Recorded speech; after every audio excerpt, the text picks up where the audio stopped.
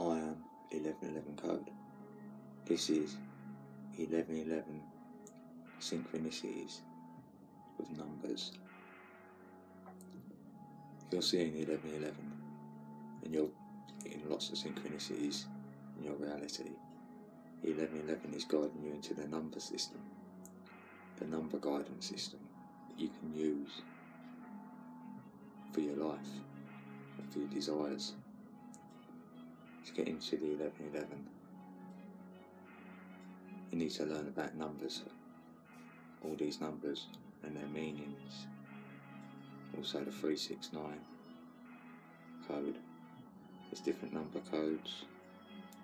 I can reveal some number codes to you, but when you start learning the codes, comprehending them, then you'll get to answer the clock in another way where it can help you through your life. So when you learn number meanings, you'll see them on the clock, then they resonate to you more. And that's what happens if you get the 1111 gateway and you've been getting onto the numbers and geometry.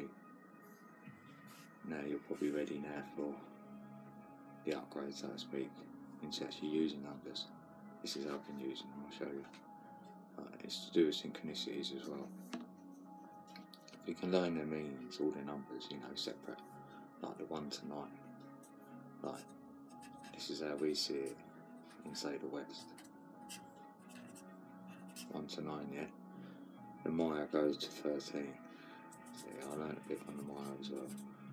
They go to 13, so you can get different interpretation for 10, 11, 12. You need to know the meanings, getting them into your consciousness. And then, if like me, like my interpretation of when I see 12.34 on the clock, you see that's 1, 2, 3, 4. That's telling me I've upgraded. Or like that key piece of knowledge you've been learning. So you've been learning number meanings, then you start seeing 1, 2, 3, 4. Probably saying you've done a bit, move on, find other meanings for other numbers. Like that, if you're looking at the clock now, you're not using it in linear time anymore. Don't judge the clock like, oh, is this o'clock, that o'clock? You don't do that. You just, as you look up, say you're seeing, I don't know, a certain time past the hour. That's what I use as well. So it was say 2:31 then, right? You look at that. That's saying four. So you look at the, the meaning of four. You'll only do that if you kept saying you're getting 8:31 and you know, all different times of day is 31. Not only that, you might go and see it on the door number. You know, it starts revealing in your reality like as a synchronicity. As we've seen before, synchronicities are like your thoughts or feelings, like mainly your desires, and you'll see them appear in your reality. People will talk about them, um, you'll see adverts about them, you'll open a page of a book and it'll be there. And you'll know if you are connected because your life will start flowing more. You'll be getting these numbers. You know, we haven't spoken about double two, double three. These are master numbers.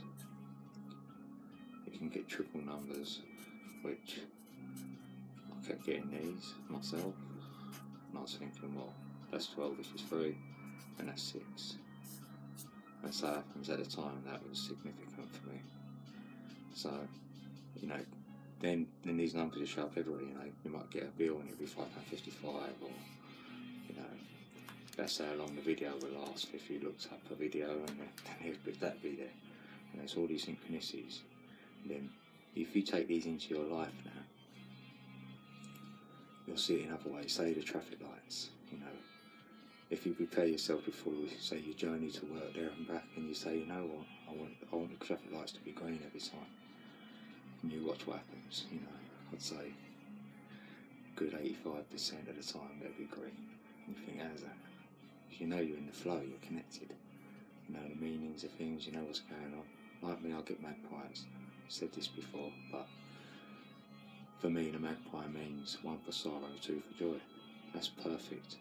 Because, you know, say you was driving somewhere or going somewhere, you think, is this the right way or not? You're just thinking this in your head, you're not even asking the magpies for anything.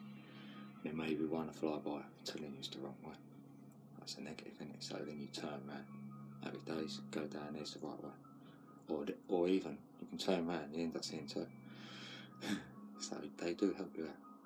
That's what you see in your reality. You'll see it appearing. And it's all a lot of it you can see through numbers. You know, if you ever got a particular desire, work on that desire, and then a number will show up. Like say it was four. Then four's like getting creative. It's a creative number. So say you was getting creative and you kept doing it. Should I do with this creativity?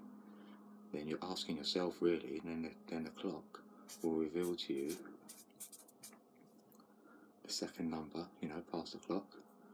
So say now you're getting five fifty-two. So look, that's seven. So if you feel like you've done your creativity, then it's getting you're getting a lot of seven, more spiritual number seven. So you're thinking, you know, I'm getting creative and all that. Maybe make it more spiritual along them sort of lines, metaphysical. You know, like the numbers of three, six, and nine.